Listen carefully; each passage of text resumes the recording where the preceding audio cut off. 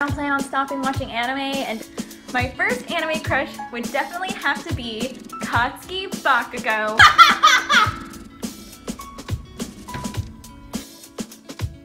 Hello everybody, today I'm going to be ranking all of the students in class 1A from least favorite to favorite from My Hero Academia.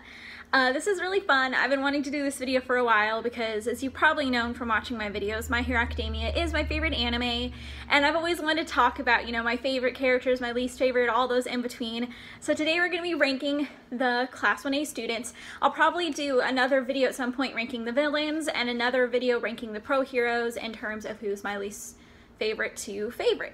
Okay, so I'm going to start with the least favorite. Uh, number 20 being Minoru Mineta. Now, I know you're gonna say that, oh, everybody hates Mineta. Well, he's my least favorite.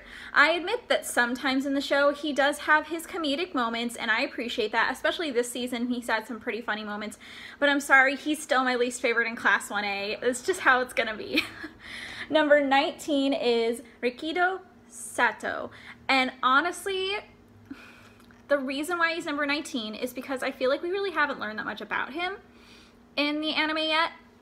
Uh, yes, I love that he, you know, bakes sweet stuff all the time and eats sweet stuff and he, you know, has to get sugar to get power or whatever. It's cute, but I just don't feel like I, you know, know enough about him to put him high on my list. Uh, hopefully they explore some of the more minor characters in Class 1A more at some point in the anime. I don't know about the manga. I'm not very far in the manga yet, but we'll see. Uh, number 18 is Koji Koda. Now, Koda is adorable, and I love the whole controlling animals thing. Honestly, like, if I had a quirk, I would love to have an animal a quirk that has to do with controlling animals and stuff like that. That sounds fun. But again, we don't know much about him in the anime so far, so it's hard for me to really put him high on the list. Now, the next one is Ojiro, number 17. And Ojiro is the character with the tail. And again, we got some really cool glimpses of him in season two, but we honestly haven't gotten to explore him as a character very much. So again, I can't put him very high in the list because I don't know much about him. I he seems like a sweet guy and everything from some of the stuff that they featured of him in season two, but still, I don't like him that much because I haven't learned that much about him, unfortunately. The list maybe change will change when they explore him more. And then uh, Mezo Shoji is number 16. Um, we've He's been featured some more than the other characters lower on my list, um, but overall, like, it's hard for me to put him at a higher ranking because he's so quiet and I don't know, something about the multiple arms too kind of wigs me out to be perfectly honest. So that's why he's only number 16. Don't come after me for that. I know that there are some people that are huge fans of some of the minor characters in Class 1A, and that's cool. Maybe you've read a lot of fan fiction, other things to put more details into them, but for me, I just don't know enough about them to put them at a higher rank. So that's just how it is, unfortunately. But hopefully we'll learn more about them later. And then next is number 15, Toru Hagakure. Now, she to some people is best girl just because it's simply so funny that she's invisible the entire show and all you see is floating clothes. And I was thinking the other day, what if she covered her entire face in makeup? W would we be able to kind of like see what her face like looks like then? I'm curious if that would be possible, and if so, why haven't they yet explored that yet? I think she's a super funny girl. I really hope that she gets utilized a little bit more in the anime. She's had some pretty funny moments. I think she's adorable, even though you can't see her. But like I, I like her a lot and I hope that they feature her more. If you like her, you should definitely watch the core dance crews My Hero Academia cosplay dance performance that they did at Anime Expo and Anime Los Angeles because the girl playing Hagakure gets featured a lot and she's great. And so if you really like, you know, Invisible Girl as a character, you should definitely check that out. You can find it on YouTube. That's how I found it. Uh, number 14 is Hanta Sero. Now I know some people can come after me because they love Sero, and Sero is like a precious being to so many people. But for me, he irks me just a bit. Like he's kind of a little bit pervy like Mineta in some ways, and so I can't put him higher because of that. And there's just something about like his character design in general that puts me off a little bit. So that's why he's not a higher ranking for me. That's just how it is. But uh, number 13 is Fumikage Tokoyami. My bird boy. Ooh, he's so cute. I love him. I love some of his like his whole emo boy aesthetic is really great. Like when we got to see his room, it was really fun. The whole emo boy aesthetic that he's going with. And the fact that he knows how to play guitar, going with the emo boy aesthetic even more. And just like how deadpan he says everything. I just love it so much. And I want to know more about him. Like why does he only have a bird head but a human body? And how does that affect his daily life? Can he kiss anybody? These are things I need to know the answer to. So yes, he is number 13 for me. Number 12 is Yuga Aoyama. Now, I love Aoyama so much. I think that the whole like theory that he's the traitor in class 1A is really interesting, especially from some of the stuff he's been doing in season four. Um, but he's just a really funny guy. Um, he's just so confident and open about like his style and what he likes and doesn't like and I can dig it. I like a confident guy. So he's just adorable. I hope we get to see what he's truly capable of, like power wise, because I feel like a lot of stuff is just a joke, like, oh, if I use my laser too much, I get a stomach ache. But I want to see how powerful he is with a freaking laser. So I hope we get to explore that even more in coming seasons. Now, number 11 is definitely going to cause some controversy in the fandom, and that is Tenya Ida. Now, I know that he is best boy for a lot of people, and he's like the freaking president, you know, rep of the class and everything, but while I love him and he has some really funny moments when, you know, he does his arm thing and all of his like, you know, always wanting people to obey the rules and he's a dork and I love my nerdy dorks to death. But there are just some boys that I love more and like I love Ida. I love him a lot, but there are just some people on the show that I love more. And it has nothing to do with me not liking him as a character. He's just just not it for me, you know? So Gonna leave it at that. Number 10 is Ochako Uraraka. Now, she's best girl to a lot of people, and I really like her. She's adorable. I like her crush on Deku is so cute. Like when she's just like floating and thinking about him and admiring him so much. And also Go Girl when she was like, you know what? I'm gonna let go of these feelings and I'm gonna focus on being strong. And I was like, yes, girl, you don't need no man. Even though I think her crush on Deku is so cute and I can't blame her. He's adorable. But yeah, she's number 10 for me. There are just some other girls and guys in the show that I like a little bit more. I'm though I'm excited to see how much deeper her story can get in the show because it's kind of been a little surface level with her for a while where we're like, oh yeah, she just wants to be a hero so she can make money to support her family. She likes Deku. And beyond that, they really haven't explored a whole lot with her. So I I hope that they do going forward. Now, number nine is Momo Yaoyorozu. And again, she's best girl for a lot of people, and I love her, but she's just not best girl for me and my personal taste.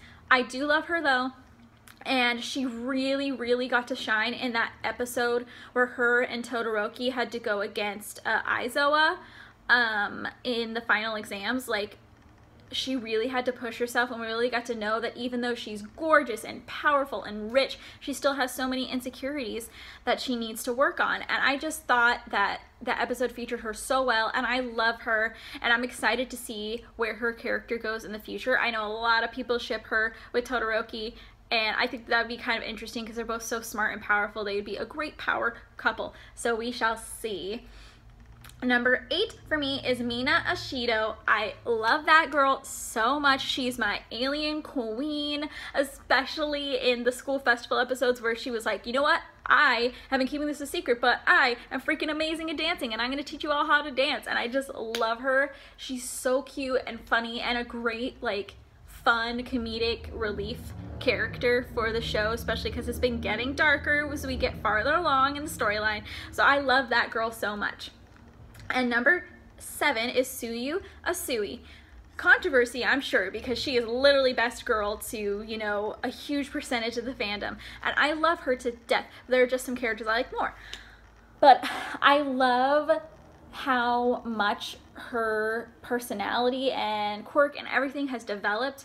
Um, how I really, really, my favorite moment is probably during the uh, dorm contest episode where she we got to see her break down a bit and say that she felt bad for everything she said to them and everything and it was a really powerful sweet moment that I really felt shined on what a great person Sue is and I'm excited to see more of that. I loved when during the school festival when she was swinging Ochako around with her tongue. That was adorable. But anyways, yes, Sue is number seven. And number six for me is Denki Kaminari. I love Kaminari so much. He's so cute and I love him in the Baku squad with Kirishima and all that.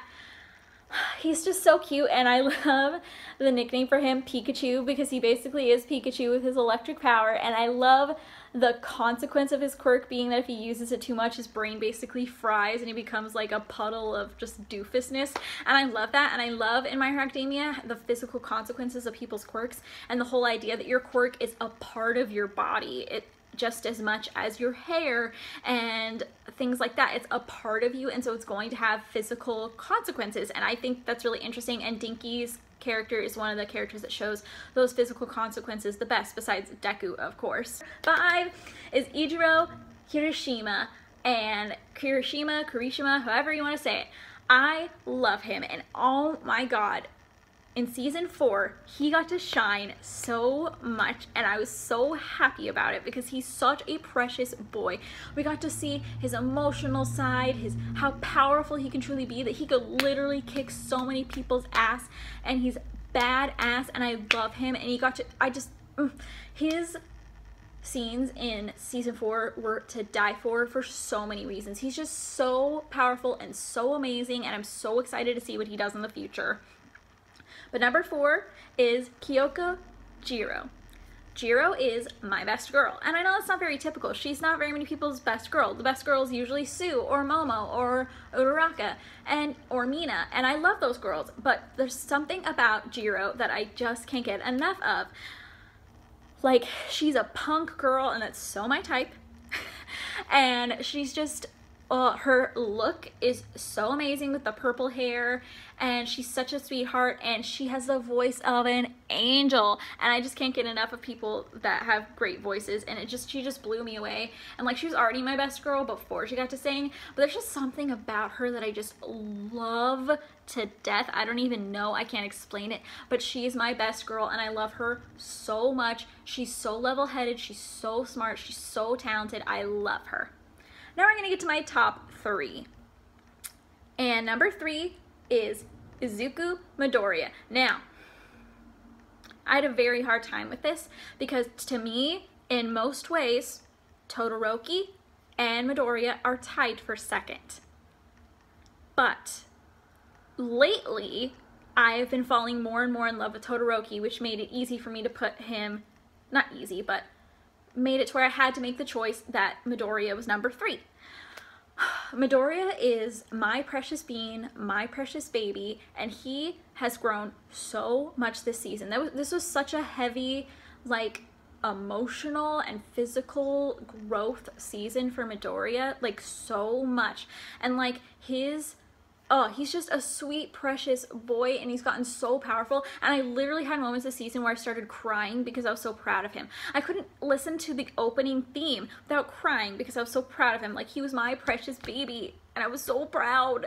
And he's just adorable. He's so adorable, and he's and his animation like is getting even more adorable. Like, he's losing some of his, you know, hit some of his baby fat on his face and he's just turning into a real grown-up and he's just oh I love him so much. He's the main character. Maybe it's cliche to put him at number three but I don't care because I love him so much and I honestly relate to him in a lot of ways with some of the struggles I've had in my life and I just I relate to him so much and consider myself a Deku and I love him. Not the negative form of Deku but the positive I can do it Deku And number two, as I said, is Shoto Todoroki. And like I said, I had a really hard time picking between Midoriya and Todoroki for this, but ultimately I've been becoming, you know, more in love with Todoroki as the episodes go by, and unfortunately in season 4 he really kind of took a back seat in a lot of ways. Honestly, the most of season 4 is really just about Midoriya in a lot of ways, and a lot of the other characters are kind of taking a back seat until the festival, but like he yes, he took a back seat this season, but he also had some hilarious moments for once, which is interesting because Todoroki is usually this very stoic, quiet boy, but he actually had some really, really great um, comedic moments this season, and he's just growing so much as a person, and he did so well taking the makeup class for the provisional license and all that, and uh, he's just doing such a good job, and I'm excited to see where his relationship with his dad goes. From what I've heard, you know, it's gonna have a lot of development. so I'm really excited about that. He, one, he's a handsome, gorgeous prince in my eyes. If you've seen the ending with him as a prince, oh, I love it so much. He is my handsome, handsome prince. And number one, which you probably already knew because I've talked about it about 500 times, Katsuki Bakugo is my number one forever in my heart. When it comes to anime, in as a whole, he's my number one.